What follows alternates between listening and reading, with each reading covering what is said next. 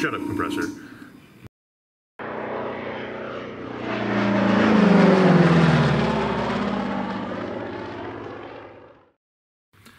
All right, it is time for one more round of super intensive masking.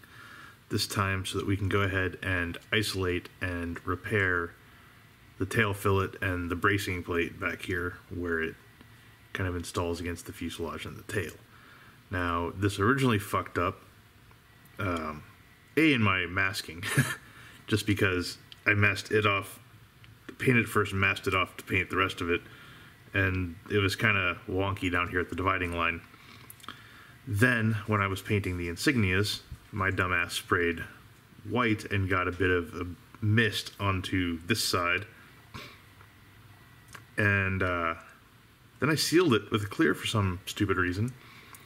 And it, yeah, it's been needing repair ever since. Uh, so then when I was doing touch ups, I said, screw it, we're going to retouch the whole thing sprayed onto it a little bit with the blue, so now it definitely needs it. That's fine. I think that it'll honestly work better being isolation masked on its own and kind of given its own treatment. So I am going to mask it off and spare you all the pain of watching me do that and swear crane flies. And we will pop back in here when it is good to go. Okay, so here we have the initial masking. This is just sort of the lining of exactly where we need the tape to go along the fillet. So obviously you got the fillet edge here, you got the bracing plate that extends out to the fuselage and sort of the, I guess the wing roots of the stabilizers up along the tail here. And up here I've got a piece of vinyl with a, you know, it's a nice little donut basically with a little hole in it that fits the forward shape of the fillet right there. Now, it's getting late and I'm trying to get a little bit more sleep than usual because of all the uh, coronavirus stuff going around. So I'm going to come back to this tomorrow and do some, you know, broader masking out around this so that we're not overspraying anything. And then we will get to the fun part of making this look nice and awesome. Okay, so it's a new night, and I was looking forward to really getting into the fillet tonight, but it's fucking raining, which means we're not going to be spraying anything that needs to be super shiny and all that kind of stuff. So, fuck. Uh, I think what I'm going to do is finish taping all this stuff so that we get the, the mask kind of more spread around and we're not going to be dealing with overspray. And also get in here and start doing some of the cleanup. Like there's a little spot in here where something pooled or something. I think it was when I was uh, removing the, the white overspray on this side with the Q-tip and something happened. But yeah, basically do a little bit of smoothing, cleaning up there, getting this thing to the point where it's literally ready to paint the second that the rain goes away, which I think at this point looks like uh, not tomorrow, but the day after. Yeah, and uh, then working on a bunch of small shit too. So I'm gonna slide this over here for the time being. And let's get to the gear bays, or sorry, the gear bay doors because they need to be sort of painted at the same time on the other side that the fillet needs to be touched up. Now I applied a All-Clad wash to these as well, and it got a bit out of hand, I think. So we need to kind of deal with that a little bit.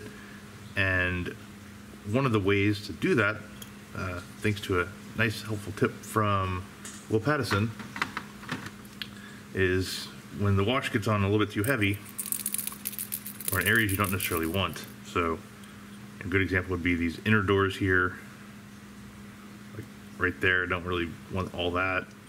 Um, there's a little bit of pooling sort of here, etc. A great way to dial that back is just to spray on a little bit more. So it's kind of like, instead of it just being a wash, we can treat it like a pre-shading wash, sort of, maybe. So that's exactly what I'm going to do. If this doesn't work, no big deal. It's gear bays. Nobody cares about what the bottom of the plane looks like anyway. Alright. So let's give this a shot. see, I would say tail wheel doors, we'll start there because people don't care about those. the way they sit, it's very hard to see them anyway.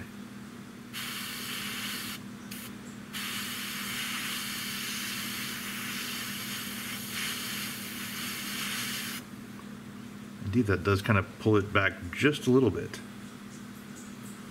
A little bit more on the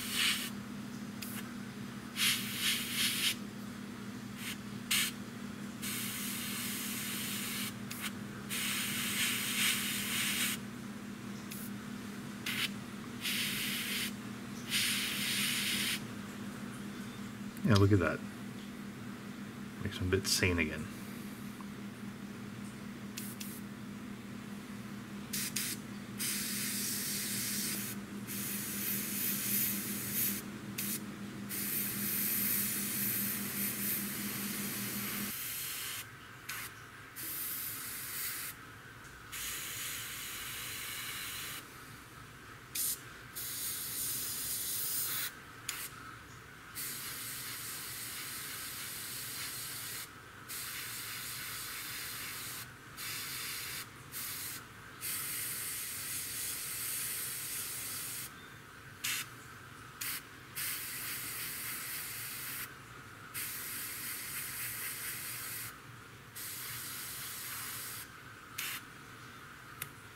Okay.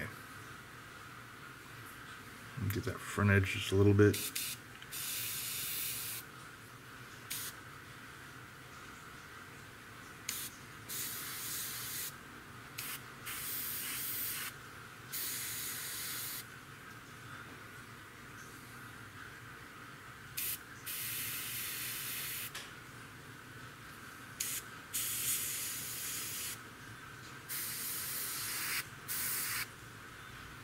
Yeah, not too bad. Okay, so let's clean out the airbrush and do some other fun things. Okay, now we're going to move on to the wheels, or actually the tires.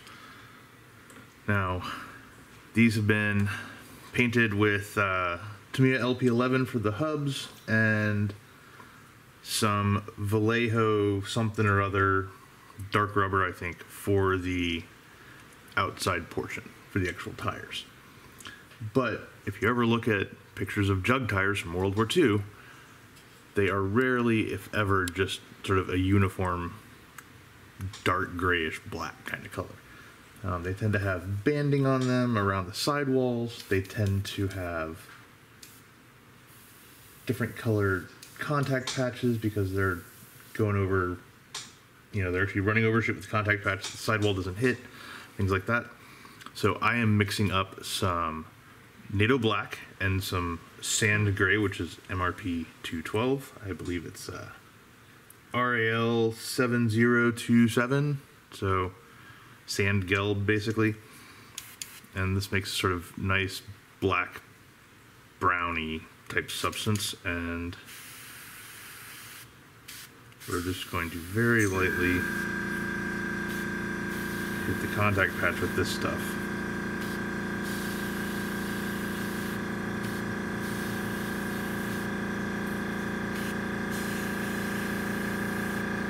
Also added some Mr. Rapid Thinner to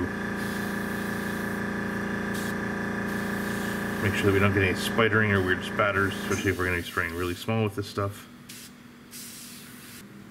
I'll to add a bit more sand gray into this.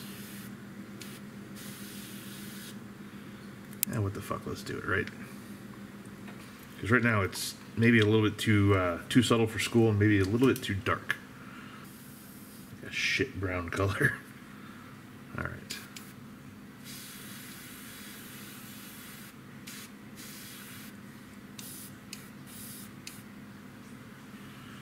Clear out the darker color first.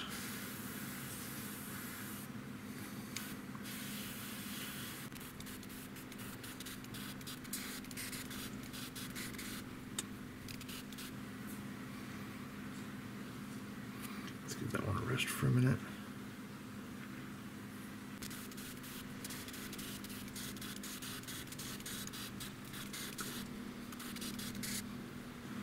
Part of the reason this looks a little bit darker, even though I don't think it actually is, is because it's got uh, the MRP satin thing going on Whereas the Vallejo, well, it's not dead flat, is a hell of a lot closer to dead flat than this stuff. This is where it starts to get interesting now. Now I'm to move that stuff aside. Straight to some sand gray. Now there are two things I love um, to try to pull off with an airbrush. And by love I mean hate. And that is super thin lines and super thin lines around a curve. And one common feature of wear patterns on jugs is exactly that sort of a light line four, five, six, seven. Sort of a lighter line at the very edge of the sidewall, basically where the contact patch changes. You get sort of, I'm guessing it's dust or dirt buildup that that basically just sort of essentially cakes along that boundary. And I'm going to try to replicate that.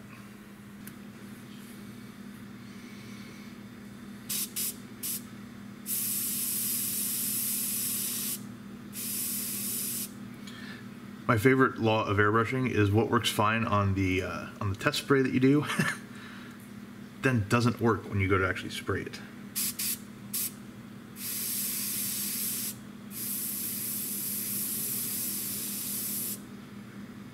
Where the fuck is the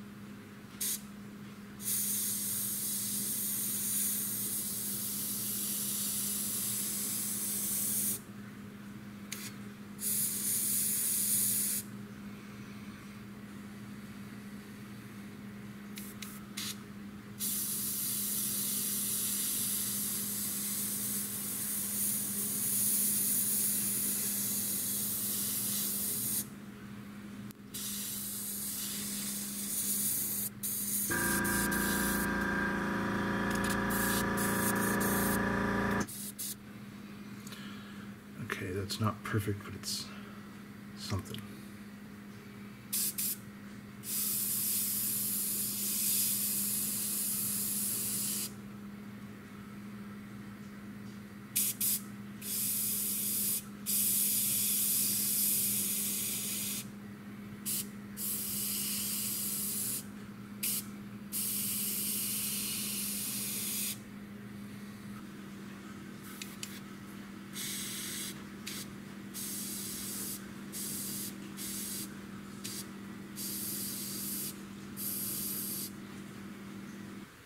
We're getting to a point where I think once the oils come into play, everything will work out just great.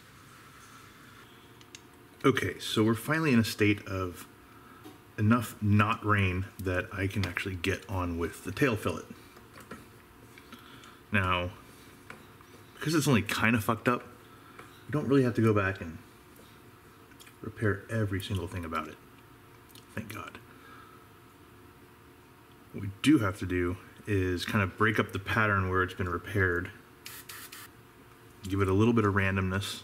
Unfortunately, this is a place where uh, I don't think the random pattern stencils can really get in and help because it's too many edges in here and all that stuff. So this is just going to be kind of freehand sort of modeling it up a little bit.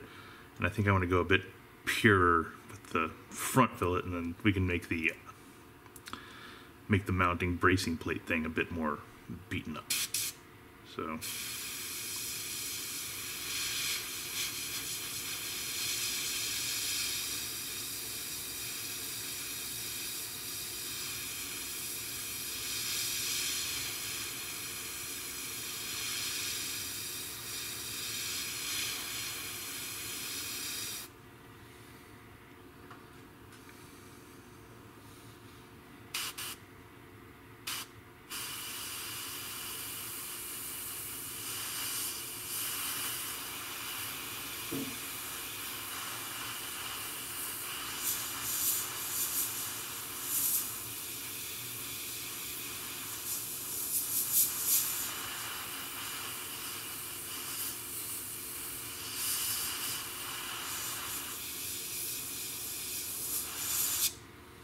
Swear this uh, vertigo stand is pretty cool for the most part, but turning it around is such a pain in the ass because of these little uh, grippers on the bottom of it, which are usually super useful.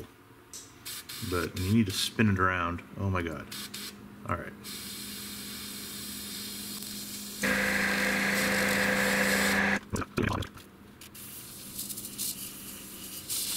That's literally all we're doing there. That's all the black. All right, so before I gloss the tail fillet, I want to set up a two birds with one stone situation and deal with the gear bay doors. Now, if you recall when I did the underside of the jug, I put several sort of very dark gray modeling things on there, and honestly, they, aside from a couple areas, they didn't really show up all that well. So, this time around, in the interest of a bit more contrast that will hopefully show through, we're going to be using ocean gray instead of a darker gray. First I gotta clean out the airbrush just a little bit. Oh shit, I already did that. Awesome. Now because these aren't weird edges and corners and stuff where we can't fit a stencil in there, we can actually bring one to bear. So we're going to be using this in conjunction with the ocean gray. Doing what we can to uh, give a bit of a contrast boost to the modeling that going to put down. All right. Now we can start doing the gloss. So I think we're in a pretty good place on these. Okay, we've got X100 loaded up in the airbrush.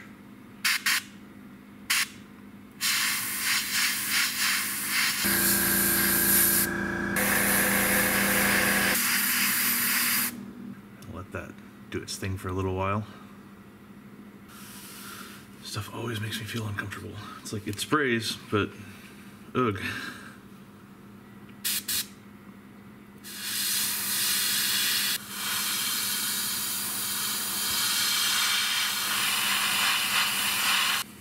We're gonna let that sit for quite a while. Okay, so the X100's had a bit of time to set up. Uh, not quite as great as I was hoping it would be, but whatever. So now we're gonna go ahead and hit it with some K Colors 15 aluminum.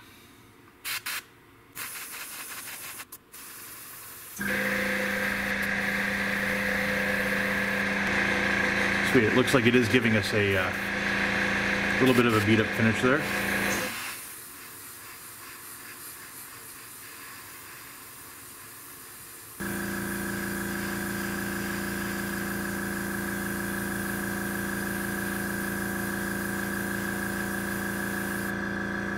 Yeesh. Head on looks like that. You go up there and it looks like that. All right, maybe they need a bit more.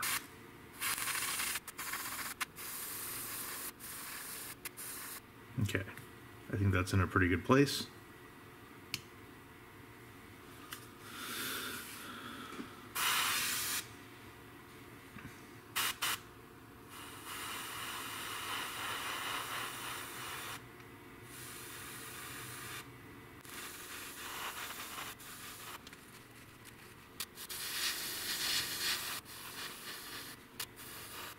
Okay, that's looking pretty solid. Time for a little bit of uh, semi-gloss and then we're gonna call it a night. This we're using K Colors XW60 again.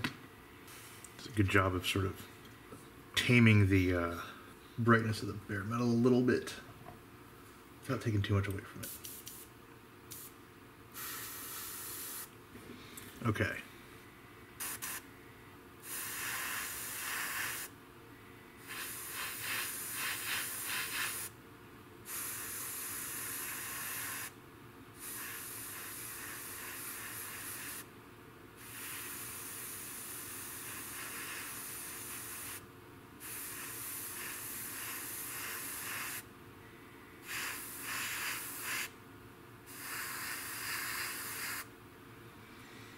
those.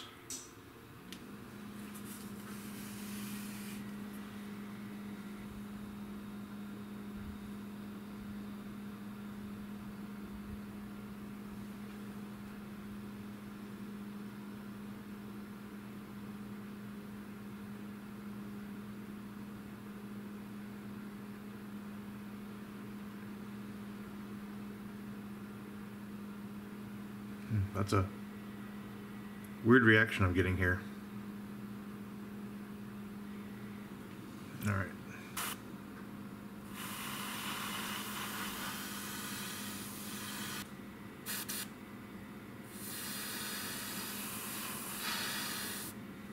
a bit of cleaner in the airbrush. Let me clean it out, and then we will do the uh, always popular unmasking reveal. Okay, it is unmasking time.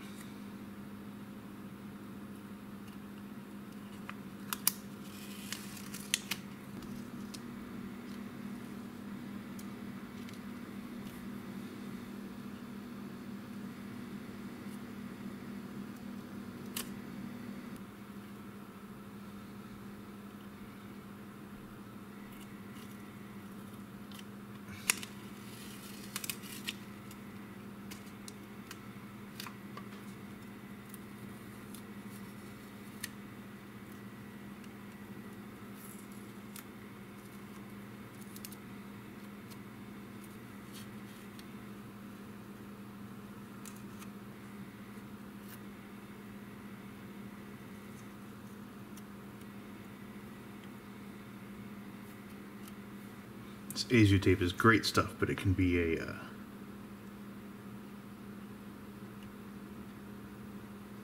little bit interesting to get up.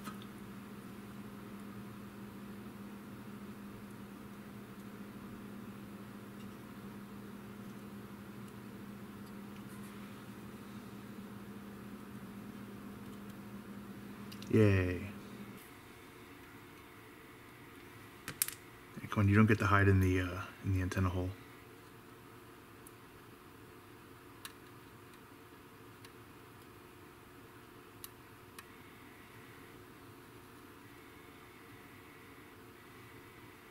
There we go.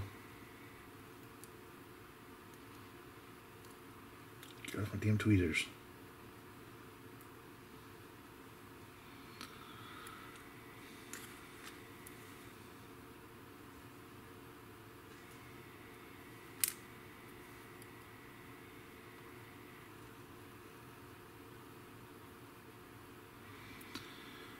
And finally,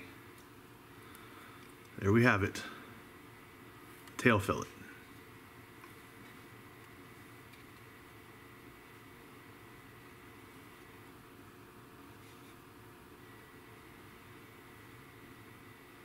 Cool. All right. And it is late as shit here, and honestly, it doesn't matter because we are in the uh, coronavirus apocalypse and time is a flat circle. And I have no real reason to get up tomorrow morning. Uh, no workout, no kid stuff, nothing like that. So I don't need to go to bed, but it's late as shit and I probably should. So we will uh, pick this up tomorrow.